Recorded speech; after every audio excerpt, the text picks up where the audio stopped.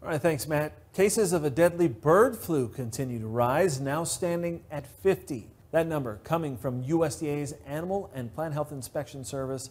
Of the reported cases, 27 were commercial poultry operations in seven states.